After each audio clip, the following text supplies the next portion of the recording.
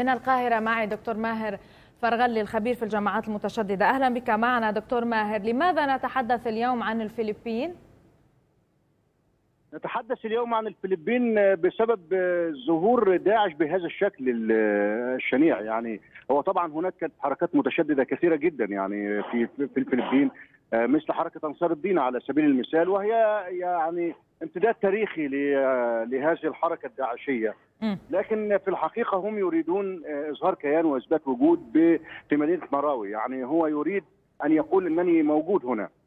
وبنفس الشكل نفس الطريقة التي قام بها داعش من قبل في مدينة الشيخ زويد بسيناء بمصر. يعني هو دخل إلى المدينة رفع الأعلام فوق بعض المصالح الحكومية ورفع علامة التنظيم وحاول أن يعلن الإمارة تدخل الجيش وفك هذا الحصار. بنفس الطريقة هو يعني هو بالكربون يريد دخل المدينة فجأة في غفلة من الجيش الفلبيني. أعلن أنه أنشأ إمارة احتجز رهائن بنفس الطريقة. لكن أنا أعتقد لماذا الفلبين؟ لماذا مدينة مراوي المدينة المسلمة هذه بالفلبين ومنذ متى يحضر نفسه لهذه المنطقة؟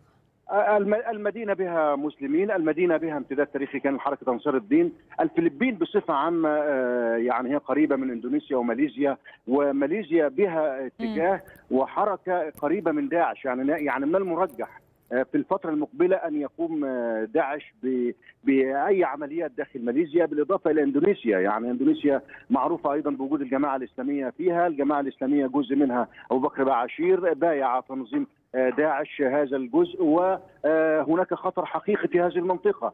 في جنوب شرق آسيا على العموم داعش يريد يعني ممتد يحاول أن يقيم إمارة في هذه المنطقة. الفلبين باعتبارها المنطقة الرخوة منطقة طبيعة الأرض م. طبيعة الشعب فيها. طبيعة الحركة فيها والامتداد التاريخي القديم للحركات المتشددة فيها دفعتهم لإعلان إمارة وكانت هي أقرب الأماكن المرجحة لذلك. نعم وحتى يعني هناك المسؤولون في الفلبين يتحدثون بأن المعركة ليست سهلة كما تقول حضرتك يعني غير جاهزين.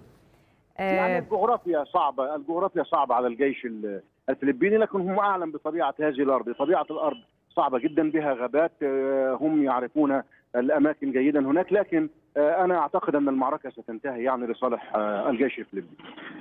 ما مدى خطورة هذا التنظيم هناك دكتور ماهر؟